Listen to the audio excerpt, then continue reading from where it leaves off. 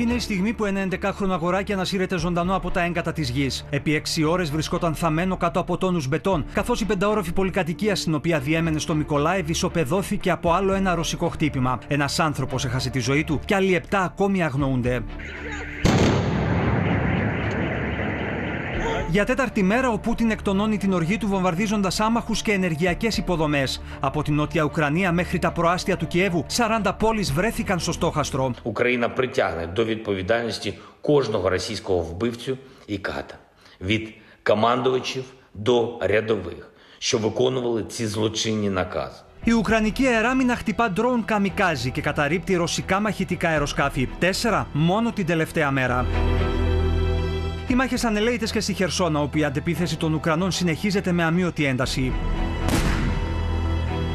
This is a high explosive, long range jousting match as each side tries to punch a hole in the other's defenses. Οι εικόνε από τι απελευθερωμένε περιοχέ τη Χερσόνα αποκαλύπτουν τη φρίκη του πολέμου. Μια επαρχία κρανίου τόπο. Думаєш, що ну не то, що краще, а що для тебе якось е, ну, ну, більш, більш таке, що ти можеш вижити. Чи те, що прильоти ці є, чи в будь-який момент могли по, е, е, вдарити прикладами по воротах. Ο ρωσικό στρατό σε πλήρη αποσύνθεση και όπω αποκαλύπτει η ρωσική ανεξάρτητη εφημερίδα Μεντιαζόνα, το Κρεμλίνο αναζητά επίστρατου ακόμη και ανάμεσα στου άστεγου.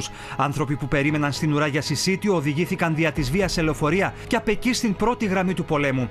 Άνθρωποι που όπω οι ίδιοι καταγγέλουν δεν έχουν καμία προηγούμενη εμπειρία. Мы мобилизированы. Мы здесь вообще не обязаны находиться. 11 дней с момента отправки. Нас просто за день. Мы отсюда уехали 11, а, из, из Москвы уехали 11 дней назад. Сколько раз ты стрелял? Один. Три рожка. Στις Βρυξέλλες, οι Υπουργοί Άμυνας του ΝΑΤΟ δεσμεύτηκαν να στείλουν νέα αντιπυραυλικά συστήματα στο Κίεβο, δημιουργώντας ομπρέλα προστασίας, την ώρα που το Κρεμλίνο πνέει μένεα και απειλεί ξανά για ένα νέο παγκόσμιο πόλεμο, εάν η Βορειοατλαντική Συμμαχία εντάξει στους κόλπους της στην Ουκρανία. Το Κίεβο γνωρίζει καλά ότι μια τέτοια κίνηση θα σήμαινε σίγουρα κλιμάκωση σε ένα τρίτο παγκόσμιο πόλεμο. Τα μηνύματα από το ΝΑΤΟ ξεκάθαρα. We will stand by Ukraine for as long as it takes. and we are committed to defending every inch of NATO's territory.